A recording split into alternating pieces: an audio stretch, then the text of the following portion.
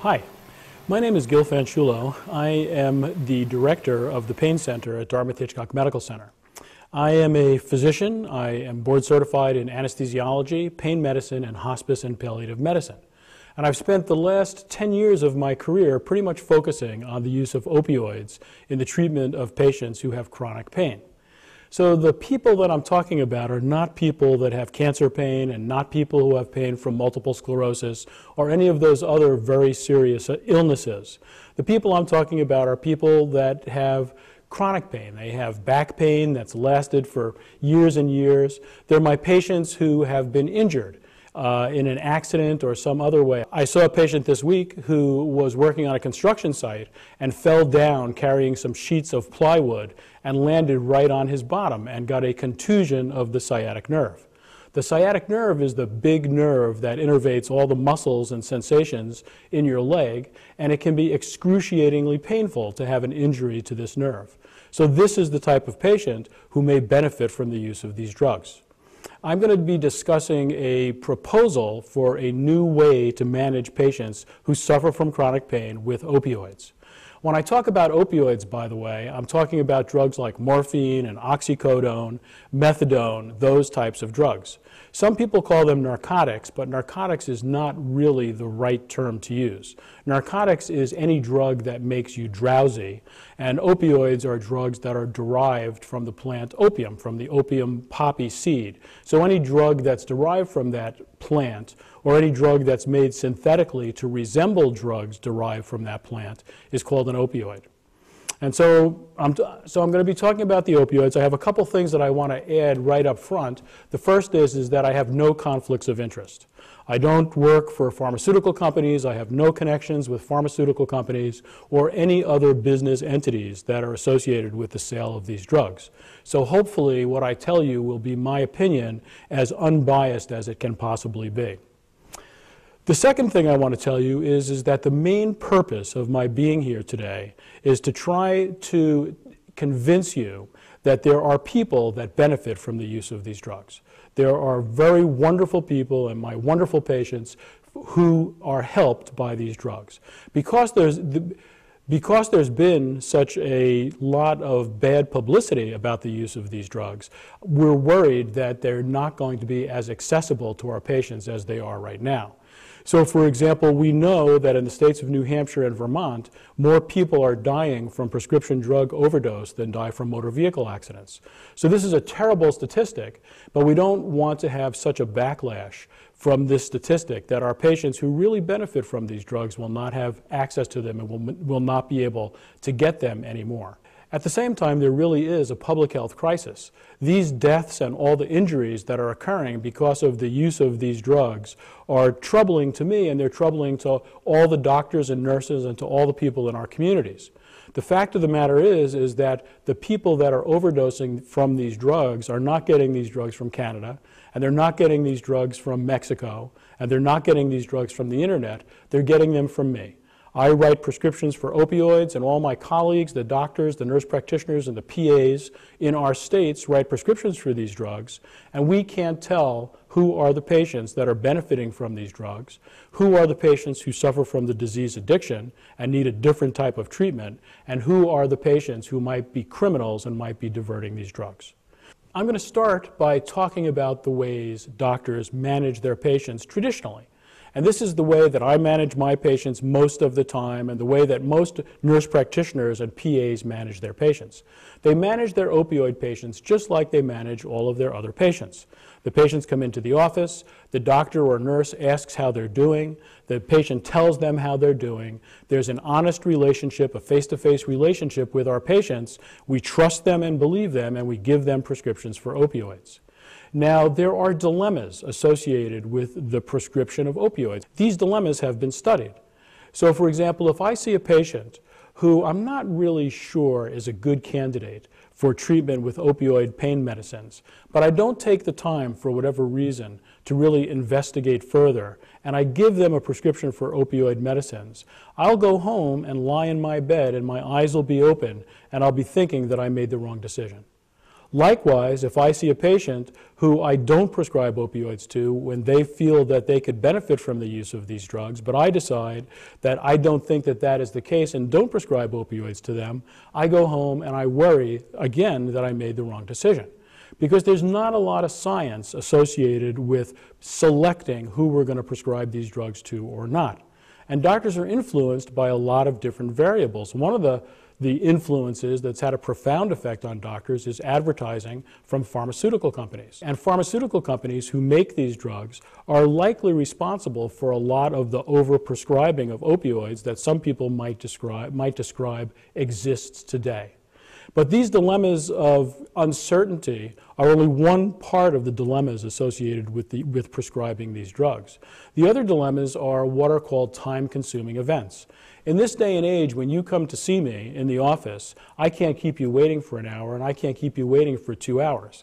It may be that in the 1970s and the 1980s, that was an expected event if you went to see the doctor. But in this century, that's not an expected event, and our patients expect, and rightly so, to be seen on time. Patients who are prescribed opioids often present with what we call time consuming events. So they want to have an increase in their dosage or they have a urine toxicology specimen that doesn't show the drug that they were prescribed, or they have a new pain issue that they hadn't described before. And so they come in with another problem that may add a half an hour or 45 minutes to the visit and delay me for the rest of the day.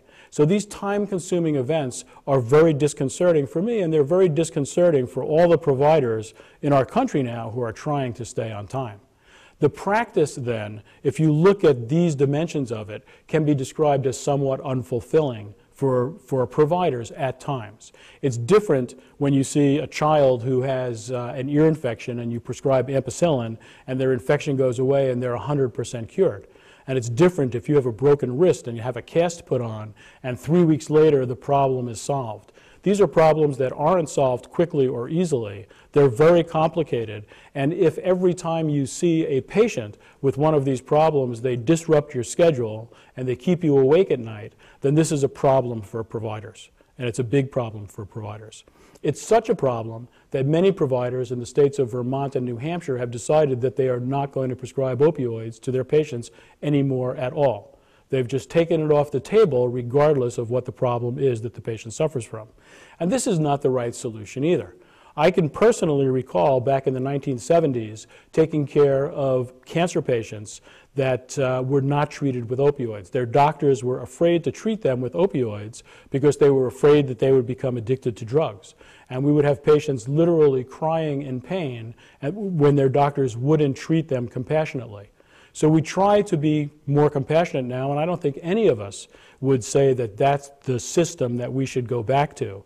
But somewhere in between that system and the system we have right now is really the right way to manage patients. Doctors do need to learn how to say no to some patients, and they do need to understand how to assess their patients and stratify their patients better, identify the patients who suffer from the disease addiction, separate them from the patients who, who suffer from chronic pain.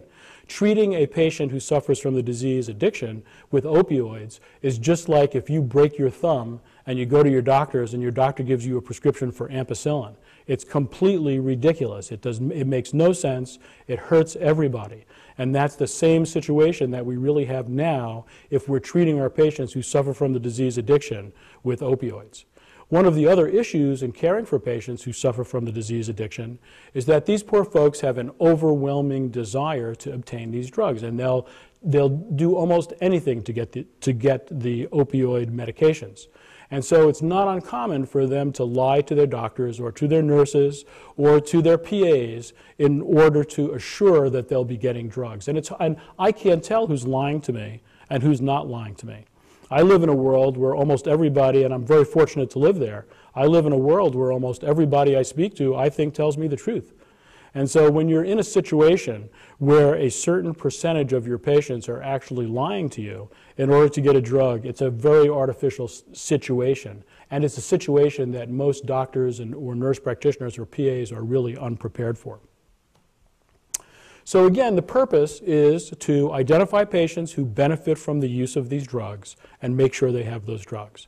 identify patients who suffer from the disease addiction, and make sure you offer them treatment for addiction. Addiction is a treatable disease, and if you apply the right treatment, those folks can be treated too.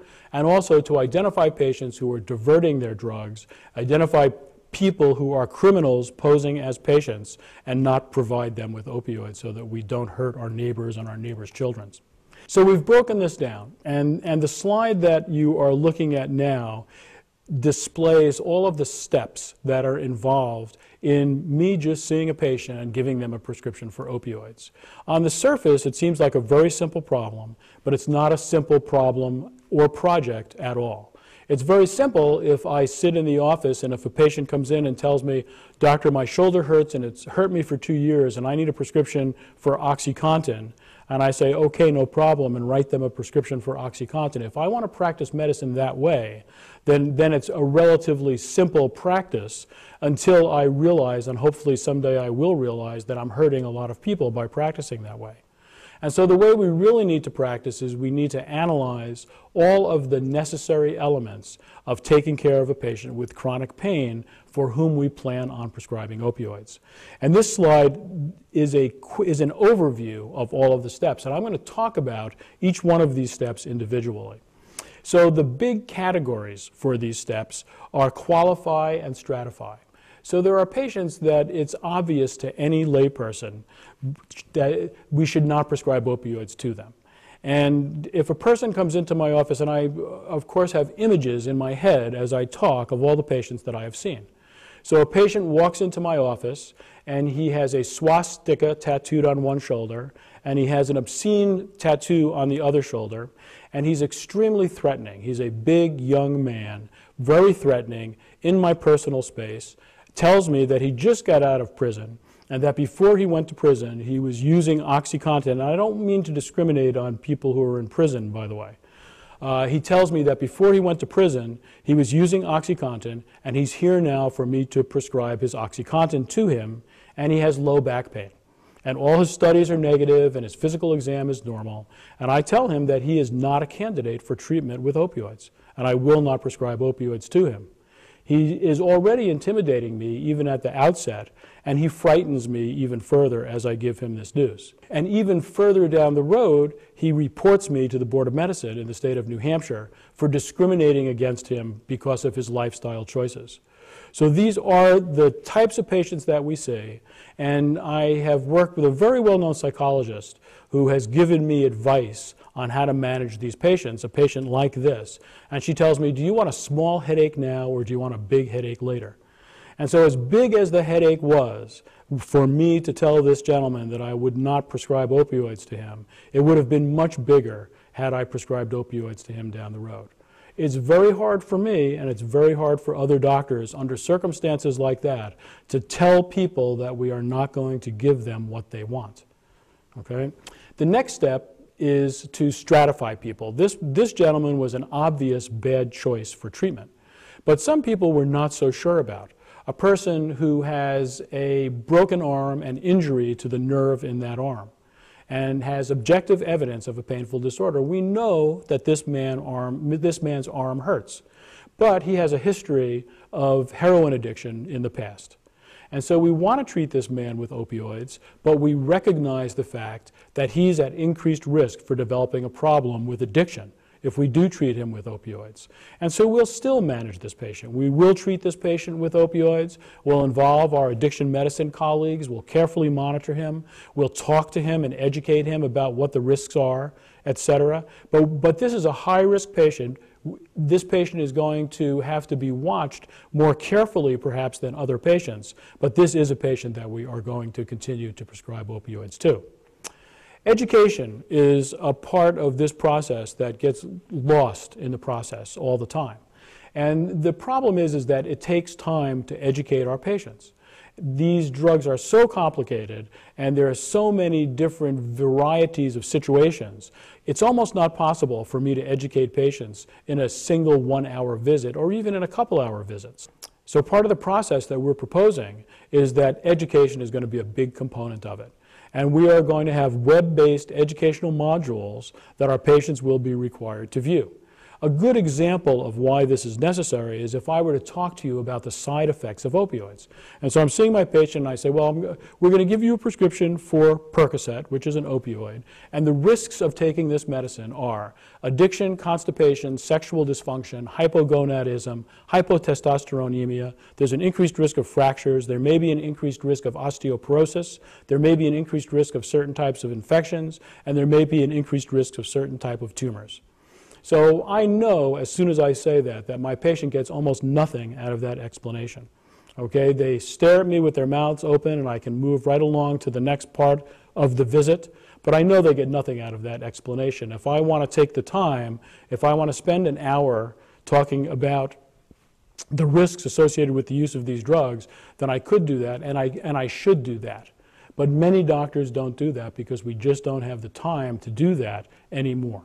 And so these educational modules are going to be a way for us to educate our patients about the risks of using these drugs, to educate our patients about the potential benefits of using these drugs, and to educate our patients about what, what my responsibilities are as the provider and what their responsibilities are as the patient.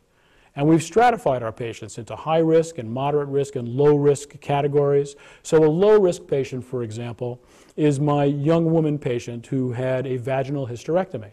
And she had her feet up in stirrups for about an hour and a half. It's a position called the lithotomy position. And her legs were up in the air for about an hour and a half, and this stretched the sciatic nerve in one leg. Again, this is the very large nerve that innervates the, the whole leg. It innervates all the muscles and all the sensory nerves in the leg. And when this nerve gets damaged, it's excruciatingly painful. And so she had damage to that nerve. We can prove that she has damage to that nerve. We can do what's called an EMG, which measures the nerve function in her leg. And so we know we have objective evidence of a painful disorder. She has none of the other risk factors that we associate with addiction or diversion. She has objective evidence of a painful disorder. She has no personal history of alcoholism or drug abuse. She doesn't smoke cigarettes. Her, she, her mom and dad never had a problem with alcoholism or drug abuse. She's employed. All of these things mitigate against the fact that she's ever going to develop a problem with addiction. And so she's a low risk patient. So if I see my low risk patient and she calls me up and she says, you know, Dr. Fanciullo, I lost the prescription you gave me. I don't know how it happened. Then I'll replace that prescription for her. If a high risk patient, on the other hand, calls me up, if the patient that has a recent history of substance abuse, of alcoholism or drug abuse, if that patient calls me up and tells me that he or she lost their prescription, then I'm going to have to treat it entirely differently. And that patient will have been told, because they have viewed these educational modules in advance, that if that happens, that I will not replace that lost or stolen prescription. And I really cannot replace that lost or stolen prescription. So part of the educational program are FAQs, just like we use these FAQs in so many different areas. What happens if I have cocaine in my urine? What happens if the drug that you're prescribing to me is not found in my urine? What happens if I lose a prescription? What happens if my prescriptions are stolen? What happens if I overuse my drugs and run out early? So our patients are going to hear all of these questions before they ever get prescribed an opioid, and they will also hear all the answers before they ever get prescribed an opioid. So they will know what the consequences are if they don't, if they don't um, adhere to the requirements that make the use of these drugs safe. Okay, and that's, it's as simple as that. And we're going to treat our patients in brief visits. So because of these time-consuming events, it disrupts the practices of a lot of doctors. So we're going to have very brief visits for all of our patients. The visits are going to be 15 minutes. The visits are going to be done by nurse practitioners or PAs. And the visits are going to be conducted just for two purposes, really. One is to make sure that the patient has their prescription, and the other is to make sure that the patient understands how to use it and is using it properly. And so at this visit, we'll give our patients a prescription for opioids. We'll question them about whether or not they're constipated or whether or not they feel sedated. And if all those things are fine, then we'll give them their prescription and they will leave the office. If they have a new pain, or if they want an increase in their dose, they're going to have to make a separate appointment and come back at a separate time to visit us. We want to take care of our patients who have those problems or complaints, but we can't squeeze all these new problems into our day-to-day -day practice very easily. If we find that we cannot safely provide these drugs to one of our, our patients, we don't fire them. We don't tell them that we're not going to take care of you anymore. What we do is we tell them that there are many ways for us to treat your pain and that the opioids are just one way to treat your pain. And the other ways include other drugs, they include behavioral medicine interventions, helping you harness the power of your mind to help control your pain. They include operations and injections, and they include physical medicine approaches. We know that if we stick somebody in a hospital bed for three days, that they're going to ache all over. But we know that if you get up and exercise, you have fewer aches and pains, and your pain in general is less. So if our patients are open to other types of treatment, then we have many other things to offer them other than opioids. The other major component of this, of this program is what we call report. And if you look at the literature, if you look at all the medical literature and say, well, there must be some evidence to support the use of these drugs in certain patients, we must know what the risks are of taking these drugs, et cetera. Some of the things that I've already told you. They're based on very poor evidence. There's not a lot of evidence in the medical literature to support the use of these drugs, even what we call long term. And by long term, I mean a year. I take care of patients who've been prescribed opioids for 20 years. And I can't tell them that there's any scientific evidence to show that these dro drugs continue to work even after one year. And I can't say that there's any scientific evidence to show that there's not some harm that will occur, occur to them if they use these drugs for 20 years. Um, so we want to gather evidence. So we want to prescribe drugs to a large number of people, which is exactly the opposite of what most providers want. But we want to prescribe drugs to a large number of people so that we can study those people. We believe that cigarette smoking is a risk factor that will help identify people who are more likely to develop a problem with addiction. We believe this is true. But it's not really proven unequivocally to be true, even though we do make that assumption whenever we see somebody. This is another reason, by the way, to quit smoking, especially if you have chronic pain. If you walk into my office and you tell me that you're a cigarette smoker, I will increase your risk category for developing a problem with addiction from low risk to moderate risk or from moderate risk to high risk. So not that you need another reason really to quit smoking, but it's just a little bit of an, an aside and a little bit of editorialization to say just another reason to quit smoking. The report part is as important as any other part of this project that we are going to do in our opinions. We need to learn how better to take care of patients who have all of these problems. Another part of this situation is the fact that it's very hard to tell if people are actually doing better or worse. And so if I see my patients to whom I prescribe these drugs and I say, so how are you doing? And they'll say, I'm doing, I'm doing well. So that is such a broad response that I really can't tell you what it means. I don't know what it means when my patient tells me that he or she is doing well. My patients will come into my office and, and they'll tell me, doctor, doctor, I'm doing pretty well, but I think I need an increase in my dose because I'm still having a lot of pain. I will explain to my patients that all you can really expect long term from the use of these drugs is about a 30% reduction in pain. Patients who suffer from chronic pain are different from patients who suffer from cancer pain. If you have cancer and you come into my office, I can almost guarantee you that I am not going to let you die in agony, okay?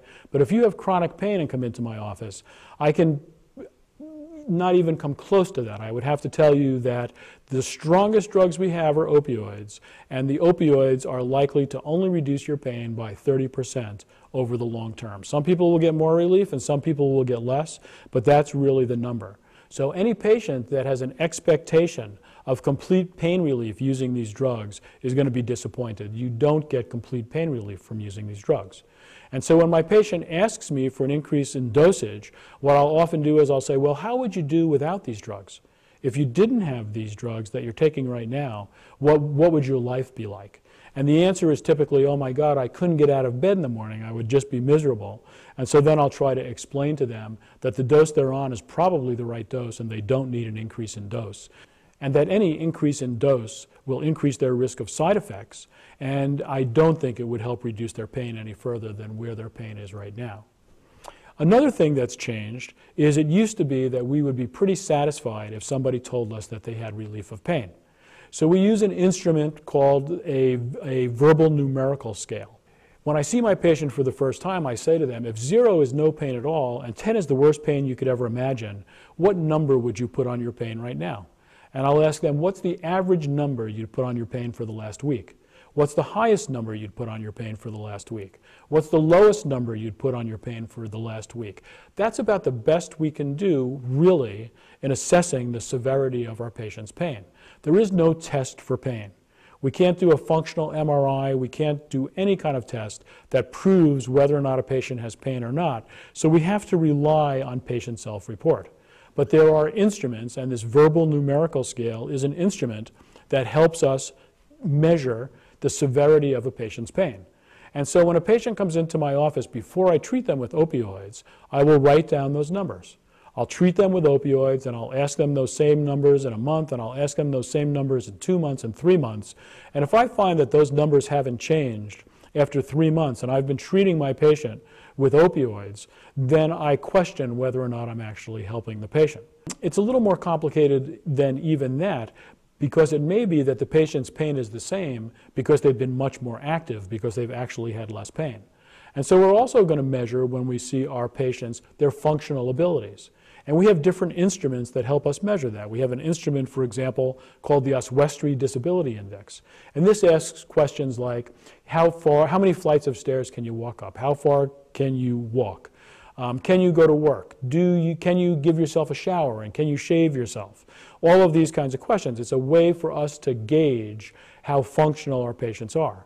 So if this same patient has an increase in their Oswestry Disability Index, but their pain, ra pain rating is the same, then I'll say, okay, that is success.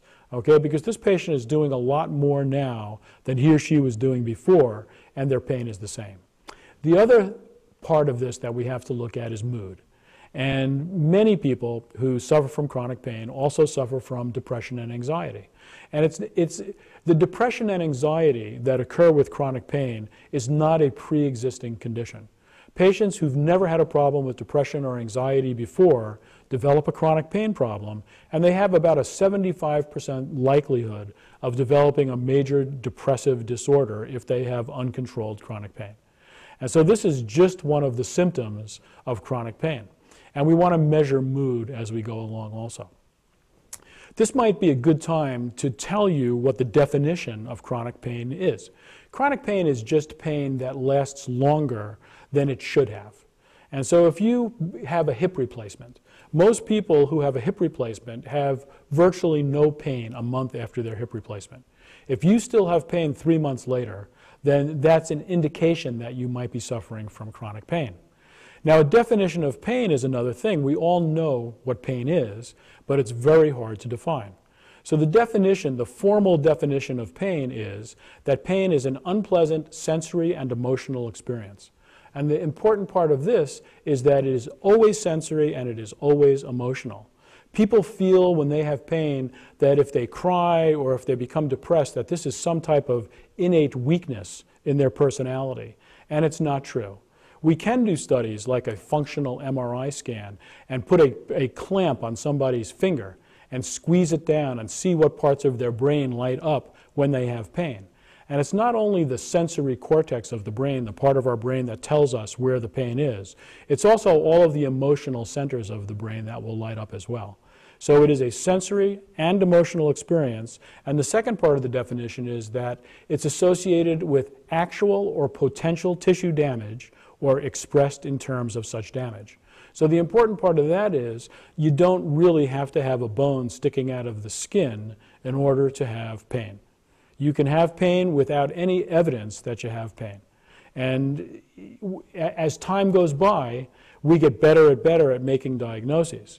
And I think 100 years from now, people will, will look back at me and they'll say, boy, he was so primitive, you know, how could he possibly have even gotten by with the, the tiny amounts of knowledge that he had, which is similar to the way we look back 100 years right now and judge the, the physicians and nurses who took care of our patients before.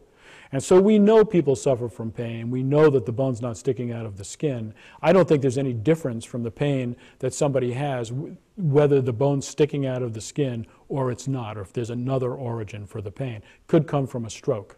So we have all these ideas about better ways to treat our patients who need opioids and have chronic pain. How do we operationalize this? How, how do we, we put it into function? And I'm going to talk about that a little bit. The patient comes into my office and requests treatment with opioids. The first thing I'm going to want is I'm going to want all the notes from previous providers. I want to know that the doctor that was taking care of this patient before did not stop prescribing opioids to this patient because this patient had a problem with addiction or was diverting his or her drugs.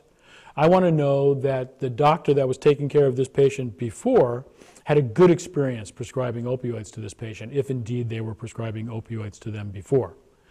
Before I will treat anybody with opioids under this new paradigm, they're going to have to view educational modules, and all of the patients will have to view three different educational mod modules. The first module is, is, entitled Risks and Benefits, and I've already spoken about that a little bit. The second module is called Patient and Provider Responsibilities, and the third module is Treatment Objectives and Measurement of Successful Treatment, where, where I will talk about the use of the instruments with my patients before I ever treat them with opioids. So they're going to know what I'm looking for, and they're going to know what I'm looking at. This is an honest relationship. Everything is on the table. I want to help my patient, and I'm not trying to fool them or trick them, trick them into giving me an answer which will dissuade me from wanting to continue to treat them. I will also obtain a urine specimen from all our patients. We have learned that if you rely just on patient report, that you are not going to identify a large percentage of patients who may suffer from the disease addiction. And so we did a study it must be almost 10 years ago now, I would say, where we looked at how many more patients did we identify who suffered from the disease addiction if we tested a urine specimen than if we didn't test a urine specimen. And we found that we identified almost a third more patients. And so that to think that patients who suffer from the disease addiction are always going to reveal themselves, they're always going to have a lost prescription or they're always going to have a stolen prescription, is pretty foolish because people who suffer from the disease addiction are just as smart as people who don't suffer from the disease addiction, and they know they're, they're smart enough to fool me. Okay? For me to think that I'm going to rely on the fact that they're not so smart or they're going to screw up, that's a mistake. And so if I really want to help people who suffer from the disease addiction, then I do need to test urine specimens. And, and it's a mainstay in the addiction community. Patients who suffer from the disease addiction and are treated for the disease addiction often have their urine specimens tested.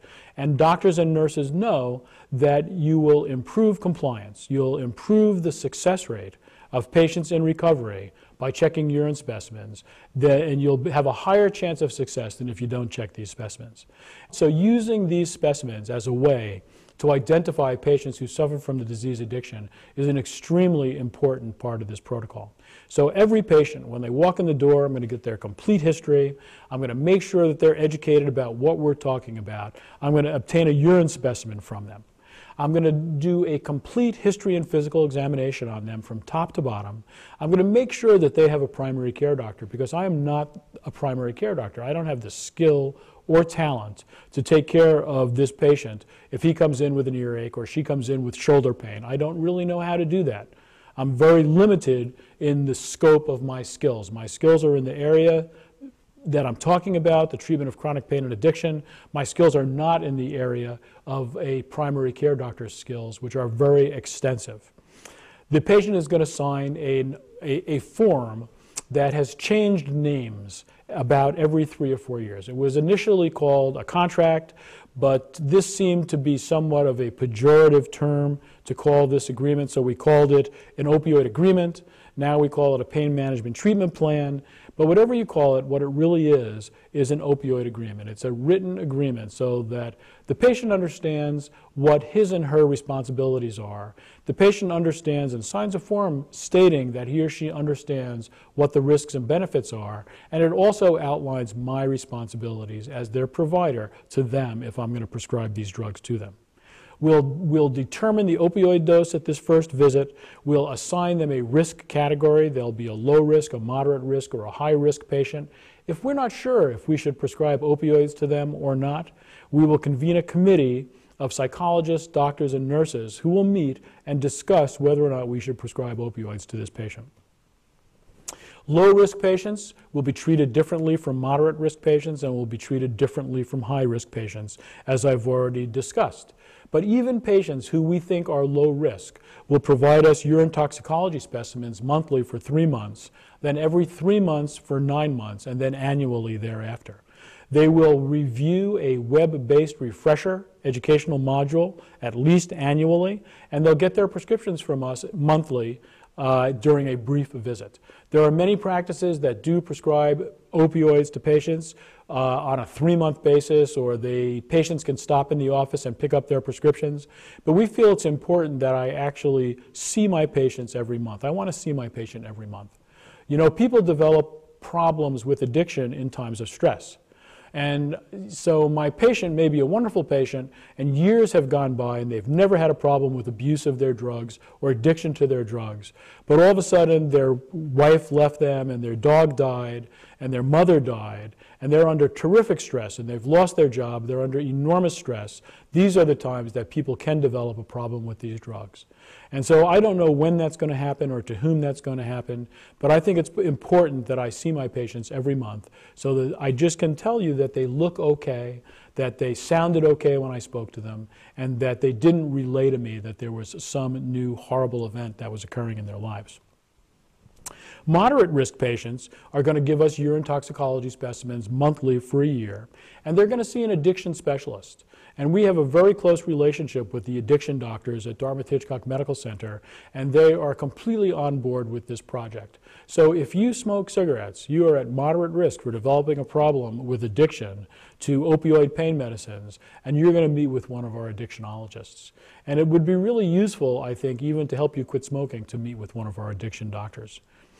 If you're a high risk patient, you're going to be co managed along with our addiction medicine specialists. You may not suffer from the disease addiction, but we want people who specialize in this area to be available to you, to help you, and to give you information, and to help you recognize if you might be developing a problem with addiction. We're going to see our high risk patients weekly for two months. We're going to see them every two weeks for two months, and we're going to see them every month thereafter.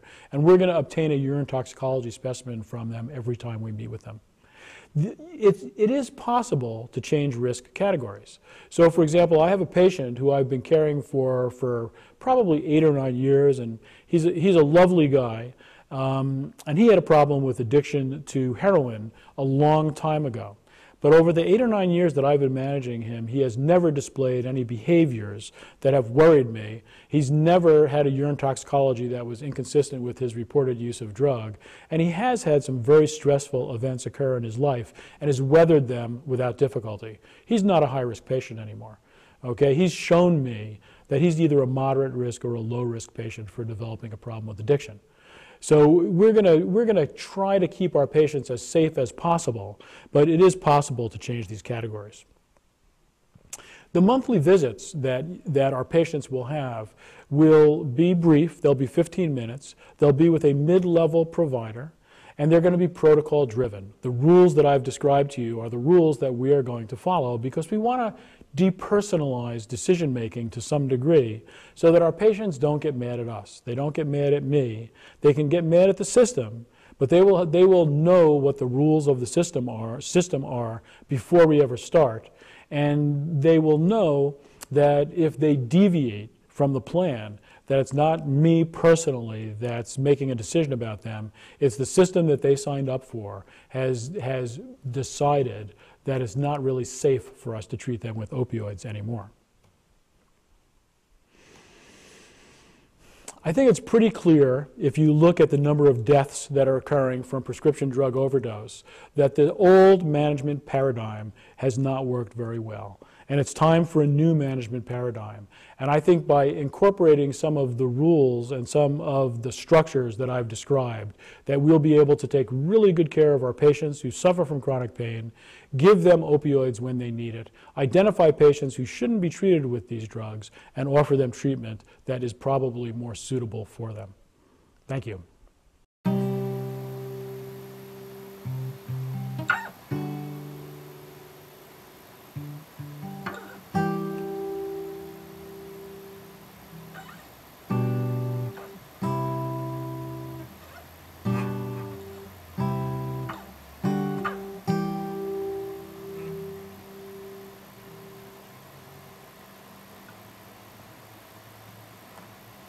Um, the, the name of the clinic, and we've gone around in circles on this because we wished we could come up with a good acronym. And so we're calling it the Safe Opioid Use Practice, which is SOUP, which is not a really good acronym. But we can't, we've really been unable to come up with anything better. So if anybody has a better idea, please let us know. We've started seeing patients, and we are seeing a small number of patients right now because we're trying to fine tune the system. So in March of 2014, we're going to start to open this up to referring providers. We have a number of different hospitals in our community that are interested in participating with us. These include Mount Ascutney Hospital in Vermont, New London Hospital, some of the North Country, New Hampshire hospitals, and, um, and we, we would anticipate that ultimately we're going to be seeing patients at a lot of different centers in both states. So it'll be more convenient for our patients to come and see us.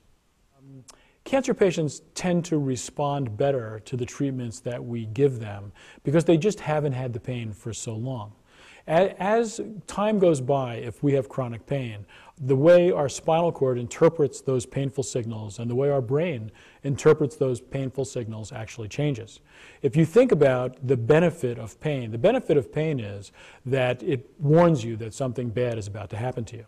So if you put your hand on the oven and it feels hot, you pull your hand away and you don't get burnt. But with chronic pain, you put your hand on the oven and you pull your hand away and it still burns. And that, that happens because of changes in our bodies, the changes in the central nervous system that, that force, our, force us to continue to experience those painful um, responses, even though the painful stimulus has gone away. And that's chronic pain. Often there is no bone sticking out of the skin. Once you tuck the bone back in the skin, the pain should go away. When it doesn't, it's because of changes in the uh, central nervous system that cause this pain to last and last.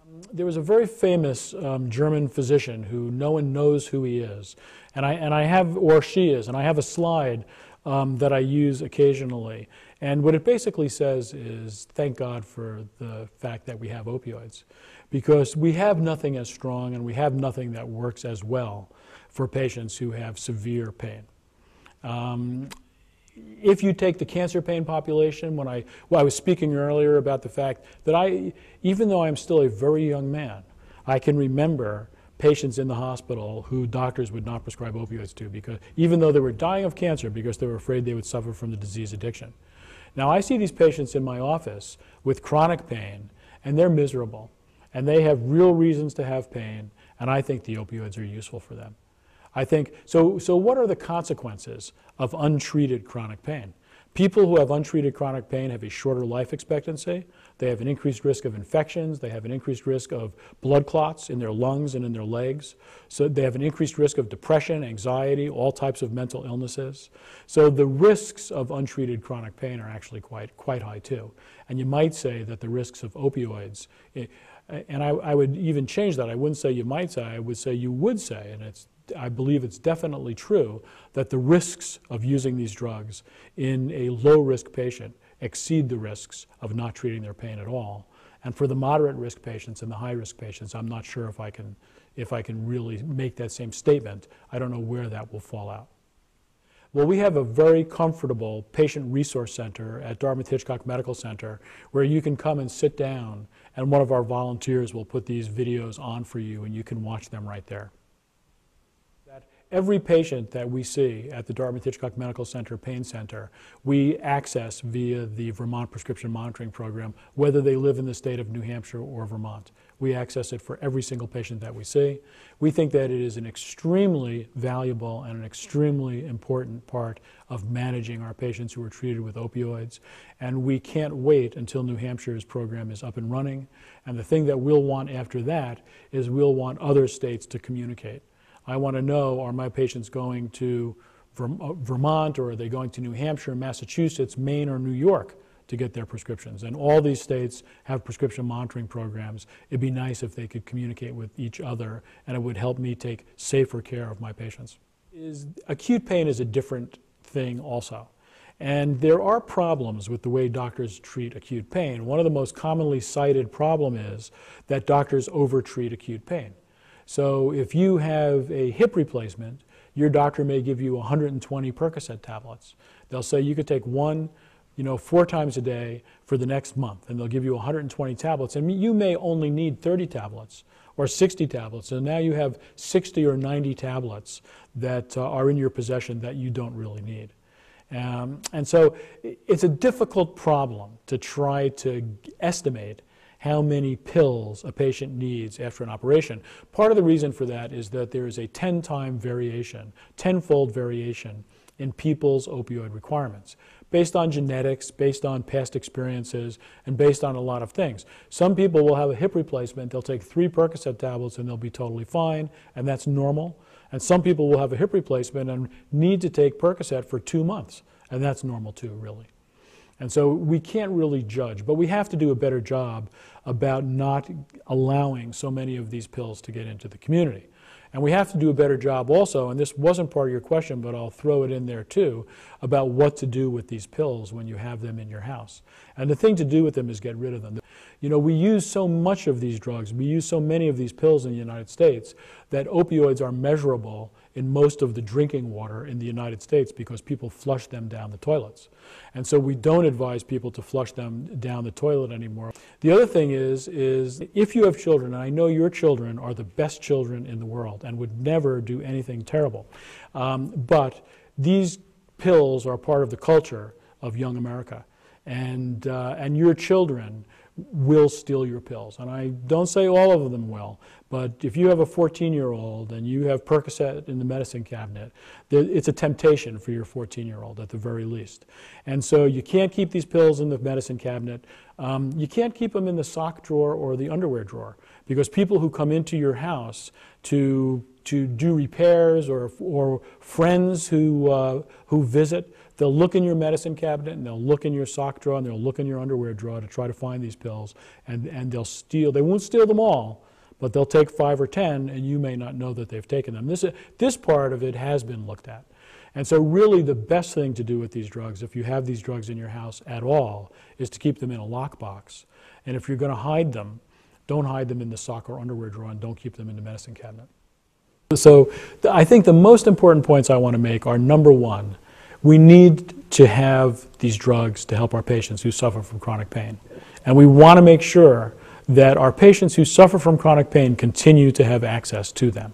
In order for us to ensure that, we have to make sure that we're prescribing these drugs appropriately. And that means that we're giving them to our patients who can benefit from their use because they suffer from chronic pain. We need to identify patients who suffer from the disease addiction so that we can offer them the right treatment. And we need to identify people who might be diverting these drugs and not give these drugs to those folks.